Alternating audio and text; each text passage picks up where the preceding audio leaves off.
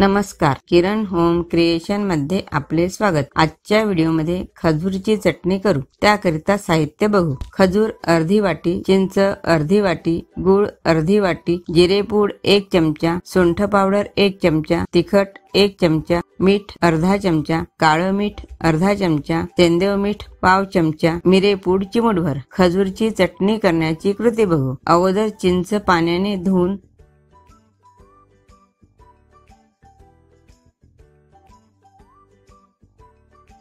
त्यातील वाक काढून घेते. थोडे चिंचेवर पाणी राहील इतपत पाणी घालून भिजत घालते.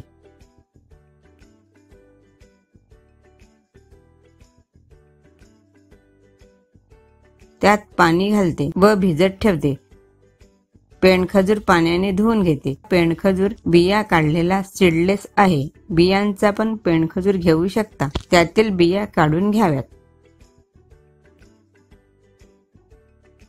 पेणखजूर थोडे पाणी घालून भिजत घालते. पातेल्यामध्ये थोडे पाणी घालते त्या पाण्यामध्ये पेणखजूर घालते. पाण्याला उकळी आली. पेणखजूर छान शिजतो आहे.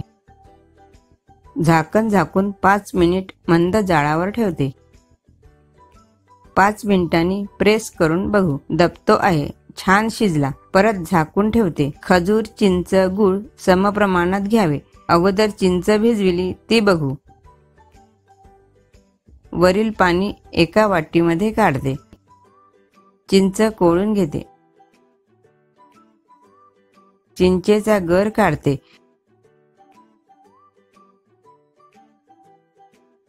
घट्ट गर निघाला अगोदर पाणी काढले होते ते पाणी घालते. व परत गर काढते. परत थोडे पाणी घालून चिंच कोळून पाणी घालते.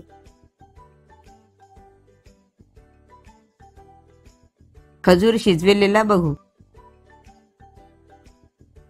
थंड झाला आहे. सरच्या भांड्यात घालते. झाकण लावून बारीक करते. चिंचेचे पाणी गाळून घेते. गुळामध्ये पाणी घालून भिजत घातला होता. ते पाणी गाळून घेते. गुळ विरघळला आहे. यात खडे असले की निघून जातात.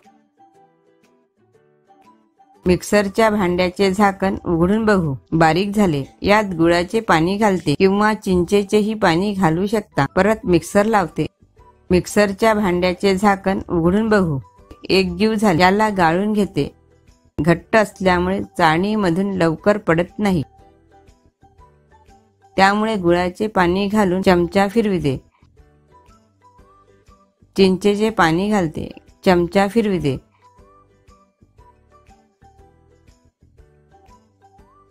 ते टाकून देऊ गर छान झालेला आहे. हा गर आता शिजवून घेते. चमचा फिरविते. गराला उकळी येत आहे. पाच मिनिट उकळू देते. गॅस सिमवरच आहे. चांगले उकळल्यानंतरच साहित्य घालावे.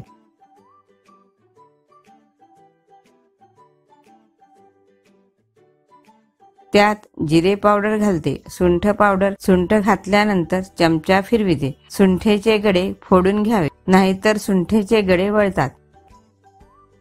तिखट घालते.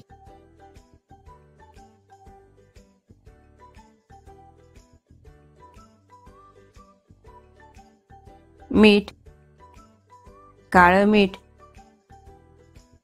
शेंदेव मीठ काळं मीठ व शेंदेव मिठानी चटणीला चव छान येते. अगदी थोडी मिरेपूड घालते. चटणीला तिखटपणा येतो. प्रत्येक साहित्य घातले की चमचा फिरवावा. परत पाच मिनिट उकळू देते. थंड झाल्यावर घट्ट येते. जास्तीच घट्ट हवी असेल तर परत थोडा वेळ चटणीला उकळी येऊ द्यावी. ही चटणी आप्पे वडे ढोकळ्यासोबत सर्व करता येईल. चटणी घट्ट असली की महिनाभर चांगली राहील.